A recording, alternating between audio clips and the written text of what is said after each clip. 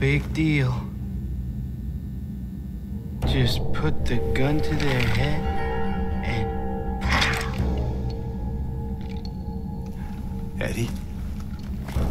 oh, uh, hi James.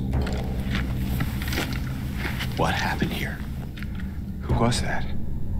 I don't know. It just came at me. So he attacked you. And, and you shot him. Yeah. Yeah, that's right. He made me do it. Okay, calm down, Eddie. Any idea why he would do that? I don't know.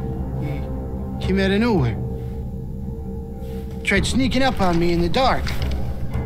I heard footsteps, so I turned back and he was right there. And you could tell that he wanted to hurt you. Well, yeah, I mean, the way he looked at me, I just had to do it. He looked at you. I thought you said he came at you. Yeah, I mean, hey, I could see it in his eyes. His eyes. He kept looking at me, making fun of me. And I told him not to, but uh, he didn't listen. You can't. You can't just kill someone because the way they looked at you.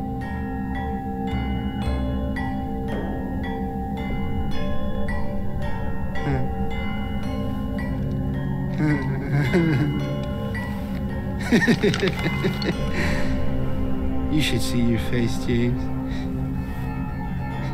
I was just joking. The guy was dead when I got here. I got you, didn't I? well, anyway, I better get going. Wait. You're gonna go out there alone? Yeah.